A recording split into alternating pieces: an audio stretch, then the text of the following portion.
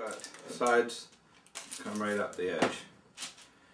So very carefully pour spaghetti out. The trick is to get it even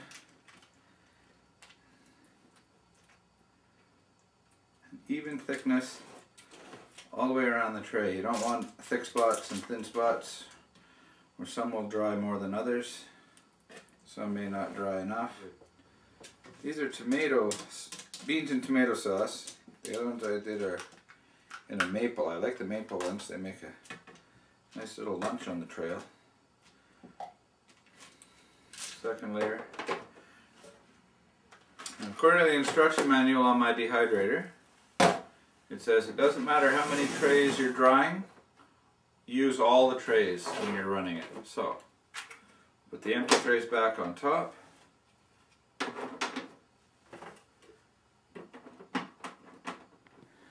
Okay, so I'm going to set a temperature now at 150.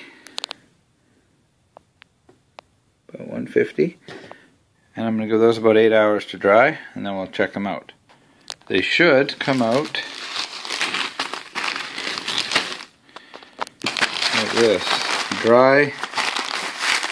They're dry and crumbly. Okay, so to rehydrate these beans, I'm going to, I want to bring it back up to the same volume that this was. This was 398 milliliters, which works out to one and three quarter cups. So, if I take these beans and I pour them in a measuring cup, and then I add water until I reach the one and three quarter cup mark on the measuring cup, and let them sit for 20 minutes, I will have a fresh can of beans ready to eat. Hydrated them. I'm going to put them in my cup and add water to the one and three quarter cup mark.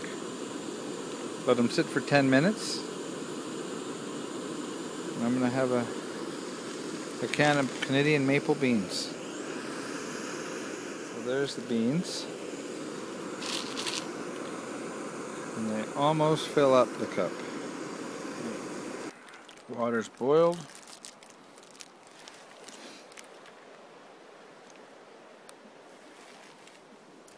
So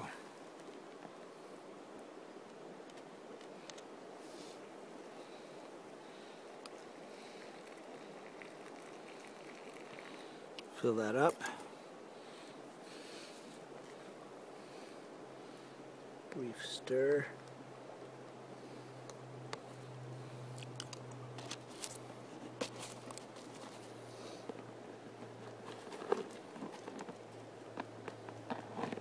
There's the finished beans. They're uh, give them about 10 minutes and they're right back to as they were